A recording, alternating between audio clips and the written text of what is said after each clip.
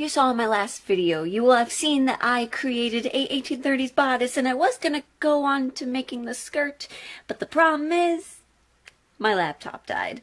And so I have decided to kind of hold off on the big project right now and move on to a more simpler project, which actually you probably have seen in the background of making this project. For this video, you will see me sew and review McCall's 7952, and I believe I'm going to do C. I was in the mood to work with linen, and I've picked out this lovely yellow uh, shell fabric that kind of reminded me of Melody from The Little Mermaid 2, which, um, I, I wouldn't call it an obsession. I call it passion. And I just like to make things that remind me of things that I like. And I really like The Little Mermaid and The Little Mermaid too, so that's why I'm doing this yet another Little Mermaid themed video on this channel. Okay.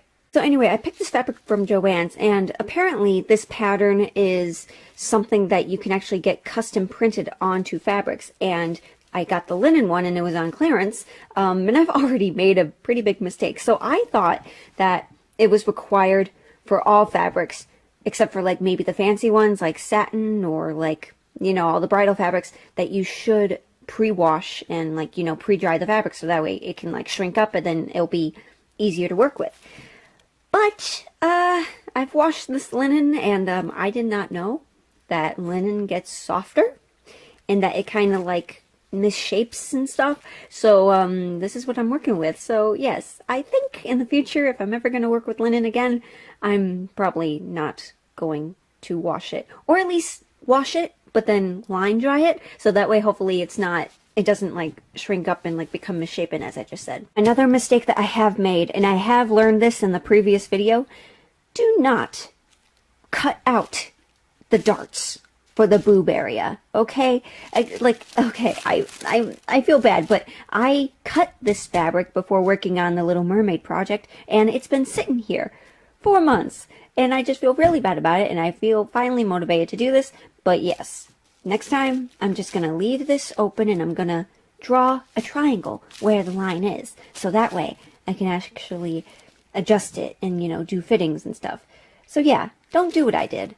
Another thing I should mention is that the last time I reviewed a McCall's pattern, it was for the skeleton baby doll dress, and I said that the dress was way, way, way too big for me, and I made a lot of mistakes, and I finally learned about it since then.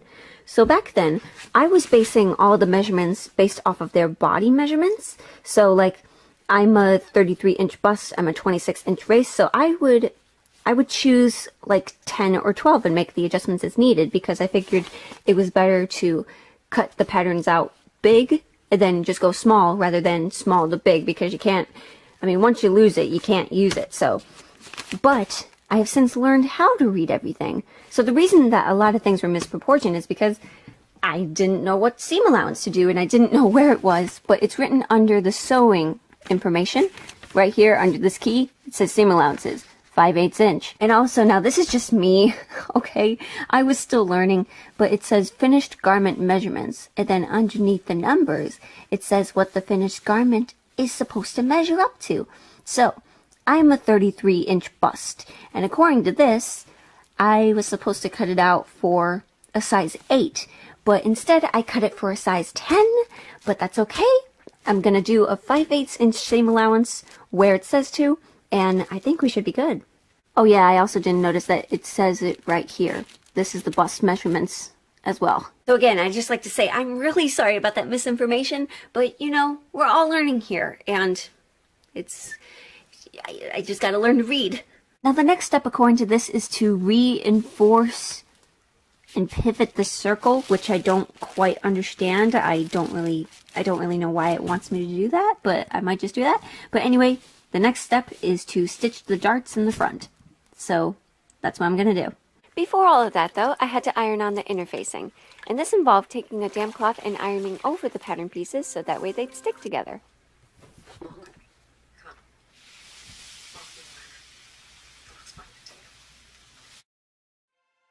Then I proceeded to sew the darts and the bodice pieces together with a 5 8 inch seam allowance. And no, I do not believe I will ever master the art of pattern matching. Then I pressed all the seams flat and attached the uninterfaced collar to the outside of the bodice before attaching the interfaced piece inside of that as a lining. I hope I'm explaining that clearly. and afterwards I ironed down the collar flat and so that way the seams would fold under and that way I can just sew it down by hand.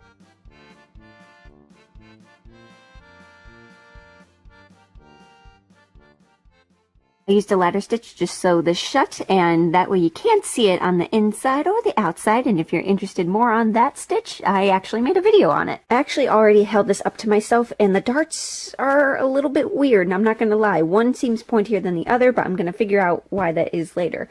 So the next step is to handle the shoulder straps which already I feel very weird about. Just looking at the instructions, I'm already confused because, okay, so the ones that are not interfaced, you put those ones on first, and then right side to right side, you put the interfaced shoulder straps on top of it, pull it inside out, and then it just says to like trim it. But then it doesn't really tell me when I'm supposed to close it off. Or maybe I'm gonna like worry about that later, or unless, I mean, Oh, wait. That's why it, you, you sew it shut on the outside, but then you don't sew it here, so that way you can flip it out, and then you,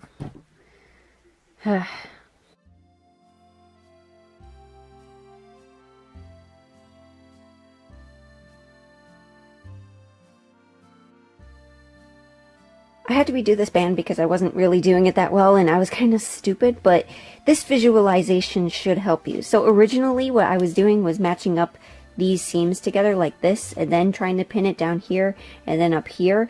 But well, what I didn't realize was that once I pinned this down and because it's a, or once I laid this down, sorry, and realized that there was a 5 8 inch seam allowance, I was like, wait, wait, and then if you pin it here, then you end up sewing it here, then, oh, then it will match up. Okay, so, yeah. I hope this visualization is better than my, um, my words, honestly. Next, it was time to sew the straps together, then flip them right sides out, which, as you will see, proved to be quite a challenge. it's a lot more difficult than it looks.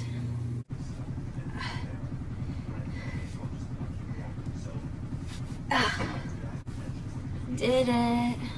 So I see that when I sewed along here, I was supposed to leave a gap in between the holes right there, but I didn't do that because I saw over here, this is when you actually insert it through that gap, the straps, like you cross it over, then you insert them, and then I guess you sew it over.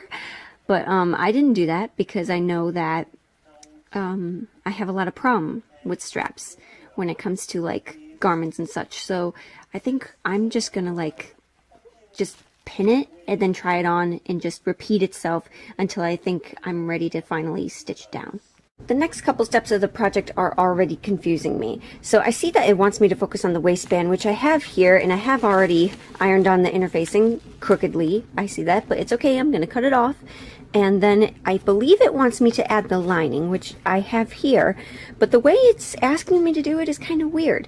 So I can see this, you know, pin it right sides together and then like turn it up and trim it and then I guess add the lining, but I don't know. Something about this instructions is just making it like weird to me because it says facing and yet it asked me to put the interfacing on the waistband before unless it wanted me to interface the lining instead of the fabric. Uh, I'm not sure, but I'm just going to do what feels right. Actually, sometimes you shouldn't do what feels right because this is what happened next. Do you ever, like, go forth in the project thinking that you read everything through and that you're doing the right thing and you thought of every single possible outcomes to what you're doing? Well, I was in the middle of hand stitching the top because I thought, yeah, if I want this to be done, I need to finish both of the edges because I sewed the bottom edge, but then I was finishing the upper edge because I wanted it to look clean. completely forgetting that a skirt is coming. So I'm gonna undo all those stitches, do what I think the instructions were trying to explain to me, and stitch this part right over that. And then once I attach the skirt to the bottom of this, then I do what I was doing and like hand sew the seams inside. Yeah, I think it's okay. It's okay. It's okay. Learn from my mistakes. Again. So I sat down and felt bad for a little while, but this is exactly what seam rippers are for, ladies and gents. Then I moved on to the fun part of this project, which was making the pleats. Yes, I know I said I was going to do gathers at the start, but I changed my mind, okay? I used the pattern pieces as a guide, and it turned out a lot better than I thought it would. I then sewed a basting stitch across the top of the skirt pieces by machine before ironing everything flat.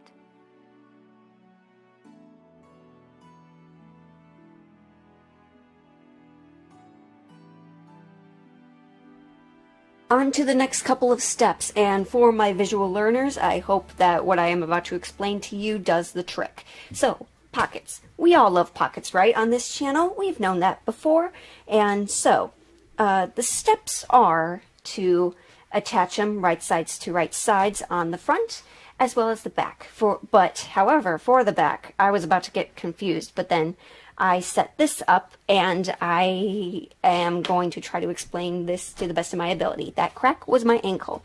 So you see how on the front, I made it so that way the pleats, this is the center, on the right side, it goes on the right, and then on the left side, it goes to the left. Well, I wanted it to follow all the way through to the back, so what I did was that I attached the pockets as normal, and then for the back panels, I set it so that way I could visualize it. So on the right side, every all the pleats are going that way. And then on the, on the back, all the pleats are following through. So that way, when you sew them together and you lay them flat, they all the pleats are going in the same direction. And then the same way for the other side. So all the pleats are going to the left. And then where is it? okay, here we go. And then in the back, all the pleats are going to the right. Well, at least in this perspective, they're going to the right.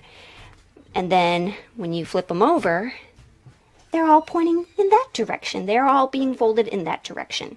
So what this means is that uh, once you figure those out together, place the pocket to that side on the edge that also has the pocket. So that way you can uh, do an, an invisible pocket, which I have done on this channel before. But basically, the next steps, I think it's it's what going to tell me. oh, oh my gosh. Okay, I'm just getting really excited. Is that we sew it all the way around the edges, so that way when you tuck this on the inside, I just lost a pin. That's okay. That way, it will look like an invisible pocket because that way all the right side of the fabrics are on the outside. So yeah, and you're about to see me uh, do one of my favorite sewing things, which is sew on pockets. So how I sew an invisible pocket goes as such. I pin the pocket pieces to the right sides of the fabric and then sew them down. And then I iron the seams so that way they face towards the pockets. And this one trick I do to ensure that the opening is neat and crisp is that I sandwich them together and then I pin the sections together so that way I can see what it's like on the outside and so they won't mess up as I sew around the pockets and I sew the skirt pieces together. And of course, I use lots and lots of pins. Finally, I sewed across the top of the pocket so that way it'd stay in place on the skirt and it's done. The pockets, I mean, not the dress. I mean, I, I have a lot more to do.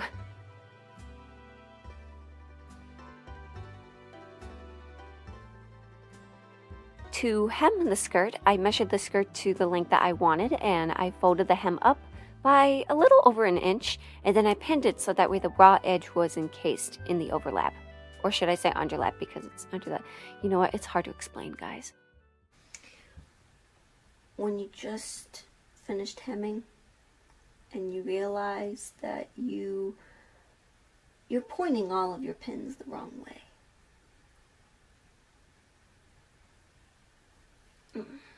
That's fine because I'm just going to follow the instructions. I think what it wants me to do is that it wants me to sew it right along this fold and then fold this top part over and then just sew it along there as well. Um, I can, the, the diagram is kind of weird because it's like, it's suggesting hand sewing, but it's not telling me to. But I don't have a lining, so I don't see the point in doing that when you're gonna see it anyway. But um, I think for this project, I don't care. So I think I'm gonna just have um, fun, just kind of do hemming this a different way. And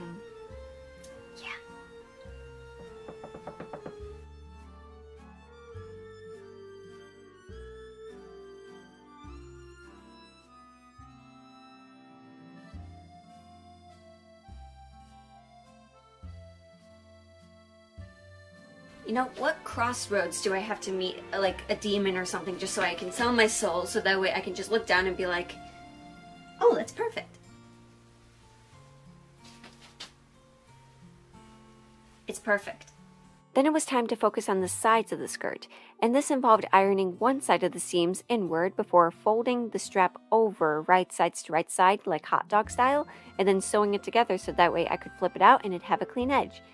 I attached each piece starting from the hem to the sides of the skirt and tried a new method of closing off the outer seam, which I will try to explain now. Now you probably wouldn't do this because this is actually way far out, way like more far out than it has to be.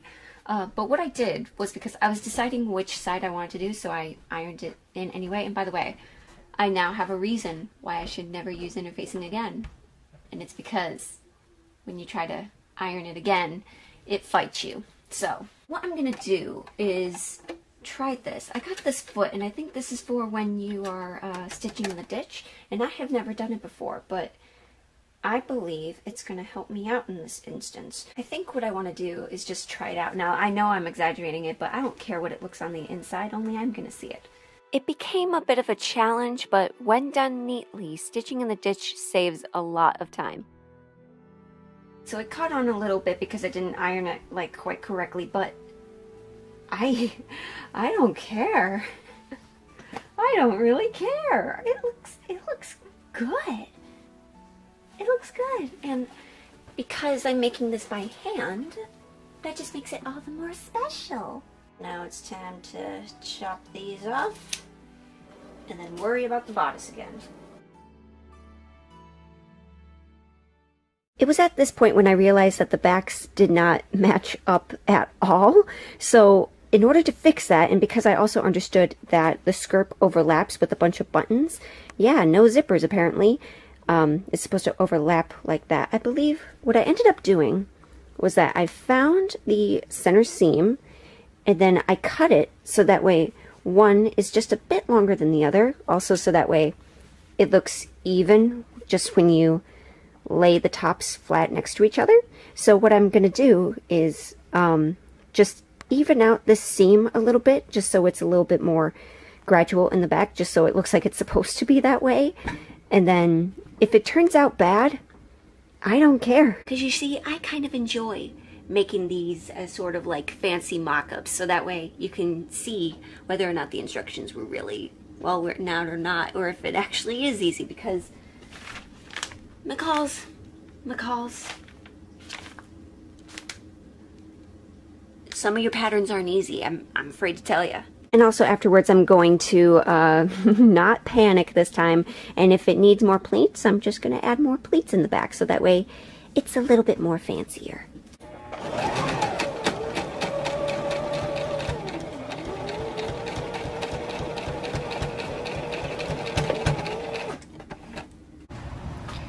Okay, then how did this side come out perfect and the other side didn't? I don't get it. I was about to sew the bodice to the skirt, but the universe said no. No way. Oh no. Come on. Oh Lord, help me. I don't, I have no light. Wait. Wait. Wait, oh. I love how I'm, as you can see, I am pinning, um, the, um, skirt. Um,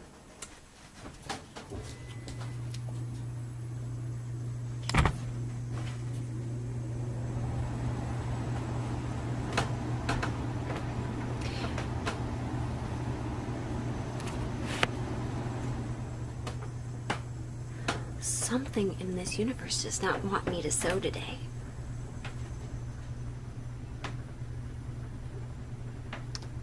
I'll be right back. Update, there is a tornado warning in my area and um this dress is just gonna have to wait. I may be in the safest part of the my house, but I'm I'm not trusting it.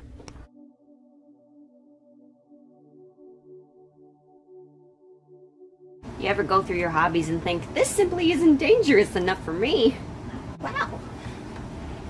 This actually came out quite good. I should have ironed it, but it's gonna be in the back, so I don't care.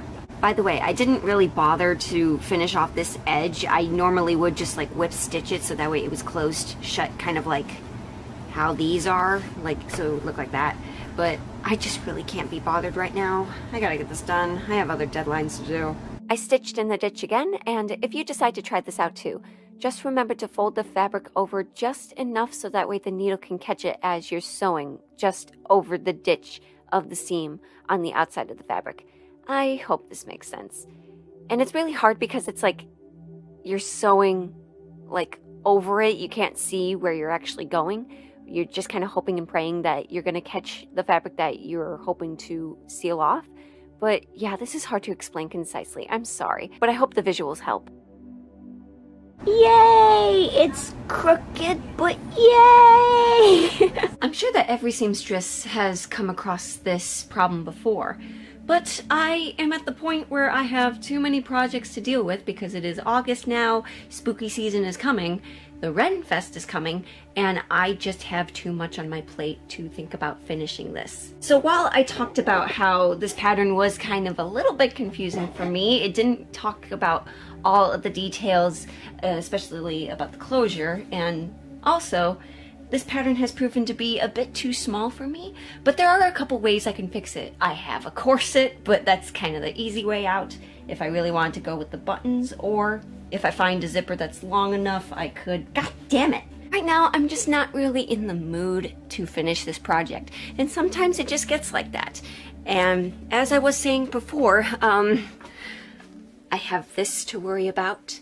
I plan on being Ichabod's mother from Sleepy Hollow, the Tim Burton version. The Renfest is fast approaching, and I have about three weeks to finish this next project, and, well, my costume is already done. I'm going as my D&D character, Sakura Puukai, level 15 elf wizard. However, my boyfriend doesn't have a costume at all. And with that, I'm gonna give you a little sneak peek. so I really hope to see you in the next video, and I shall see you in my next sewing adventure. Again, really sorry I didn't finish it. But hey, I will finish this one. I promise. It's just I'm a working woman. I I don't have that much time on my hands.